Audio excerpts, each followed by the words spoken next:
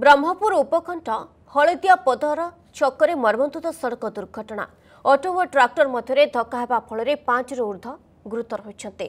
ସମସ୍ତଙ୍କୁ ଏମ୍କେସିଏଚ୍ ମେଡିକାଲରେ ଭର୍ତ୍ତି କରାଯାଇଛି।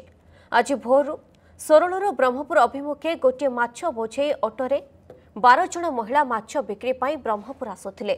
ଏହି ସମୟରେ ହଳଦିଆ ପଦର ନିକଟରେ ଦୁର୍ଘଟଣାର ଶିକାର ହୋଇଥିଲେ। ପାଞ୍ଚରୁ ଉର୍ଦ୍ଧ୍ୱ ଗୁରୁତର ସହ କିଛି ଲୋକ ଆହତ ହୋଇଥିବା ଜଣାପଡ଼ିଛି। ଘଟଣାସ୍ଥଳରେ ପୋଲିସ ପହଞ୍ଚି ତଦନ୍ତ କରୁଛି।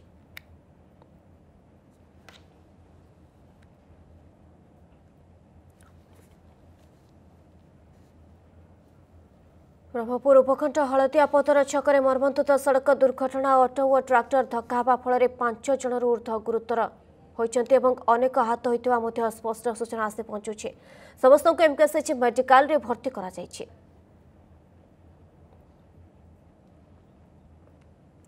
ଏ ବାବଦରେ ଅଧିକ ସୂଚନା ପାଇଁ ଆମ ସହିତ ଯୋଡ଼ି ରହିଛନ୍ତି ଫୋନ୍ ଲାଇନ୍ ଆମ ପ୍ରତିନିଧି ପିତାମ୍ବର ନାହକ। ପିତାମ୍ବର ଦୁର୍ଘଟଣା କେତେବେଳେ ଘଟିଲା ଏବଂ ଯେଉଁମାନେ ଗୁରୁତର ରହିଛନ୍ତି ସେମାନଙ୍କର ଅବସ୍ଥା ଏବେ କିଭଳି ରହିଛି?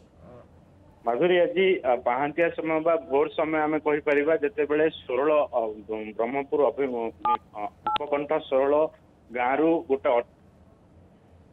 କିଛି ମାଛ ଟଲି ସେ ଭିତରେ ଅ, ଲୋଡ କରିକି ସେମାନେ ବ୍ରହ୍ମପୁରକୁ ଆଣୁଥିଲେ। ବ୍ରହ୍ମପୁରର ସେମାନେ ଯେହେତୁ ବ୍ୟବସାୟ କରୁଛନ୍ତି ଆଉ ସେଇ ଆସିବା ଅ, ବ- ଆସିବା ରାସ୍ତାରେ ହଳଦିଆ ପଦର ଗୋଟେ ଟର୍ଣ୍ଣିଂ ରହିଛି। ସେଇ ଟର୍ଣ୍ଣିଂ ରେ ଅଟୋଟି ଅ, ଯେତେବେଳେ ଆଉ ଗୋଟିଏ ରାସ୍ତା ପଟକୁ ଅ, ବୁଲାଉଥିଲା ସେଇ ସମୟରେ ଗୋଟେ ଇଟା ବୋଝେଇ ଅ, ଟ୍ରାକ୍ଟର ମଧ୍ୟ ସେଇ ଅ, ଜା- ଅ, ସ୍ଥାନରେ ରହିଥିଲା। ଅ, ସେ ଅମ୍, ଅଟୋଟି ଇଟା ବୋଝେଇ ଟ୍ରାକ୍ଟର ପଛପଟୁ ସମ୍ପୂର୍ଣ୍ଣ ଭାବେ ଧକ୍କା ଦେବାର ଗୋଟେ ପ୍ରକାର ସୂଚନା ମିଳୁଛି।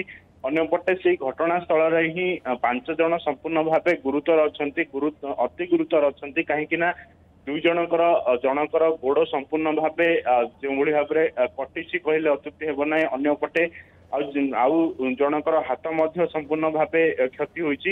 ଅ, ସବୁଠୁ ବଡ କଥା ହଉଛି ବର୍ତ୍ତମାନ ସମୟରେ ଅପଡେଟ ହଉଛି ଆଉ ଦୁଇ ଜଣଙ୍କୁ କଟକ ଏସ୍ସିବି କୁ ମଧ୍ୟ ସ୍ଥାନାନ୍ତରଣ କରାଯିବ। ଆଉ ତିନି ଜଣଙ୍କୁ ଏଠି ଚିକିତ୍ସା ଅ, କରାଯାଉଛି କିନ୍ତୁ ମୃତାହତର କୌଣସି ପ୍ରକାର ସୂଚନା ଆସିନାହିଁ। ଅମ୍, ଅନ୍ୟପଟେ ଯୋଉମାନେ ଆହତ ଅଛନ୍ତି ସେମାନଙ୍କୁ ମଧ୍ୟ ଚିକିତ୍ସା ଚାଲିଛି। ଅନ୍ୟପଟେ ଘଟଣାସ୍ଥଳକୁ ବର୍ତ୍ତମାନ ପୋଲିସ ପହଞ୍ଚିଛି ତଦନ୍ତ କରୁଛି ଯେ ଏ କେମ- କେମିତି ଏ ଧକ୍କା ହେଲା ଆ, କାହାର ବା ଭୁଲ ରହିଛି କାହାର ତ୍ରୁଟି ରହିଛି ଟ୍ରାକ୍ଟର ଡ୍ରାଇଭର ଘଟଣାସ୍ଥଳରେ ଅଛି କି ନାହିଁ ଏ ସବୁ ଦିଗକୁ ମଧ୍ୟ ପୋଲିସ ତଦନ୍ତ କରୁଛି। କିନ୍ତୁ ମୋଟାମୋଟି ଭାବରେ କହିପାରିବା ଏହା ଗୋଟେ ଅ, ଜୀବିକା ଅମ୍, ବଞ୍ଚେଇବା ପାଇଁ ବା ଜୀବିକା ପାଇଁ ସେମାନେ ଯେତେବେଳେ ଛୋଟ ବ୍ୟବସାୟୀ ଅମ୍, ସହରକୁ ଆସୁଥିଲେ ସେତେବେଳେ ରାସ୍ତାରେ ଗୋଟେ ବଡ ଅଘଟଣର ମଧ୍ୟ ସମ୍ମୁଖୀନ ହେବାକୁ ପଡିଛି ସେମାନଙ୍କୁ ମାଧୁରୀ।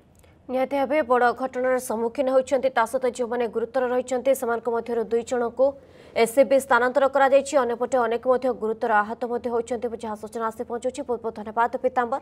ଆପଣଙ୍କର ତମାମ ସୂଚନା ପାଇଁ।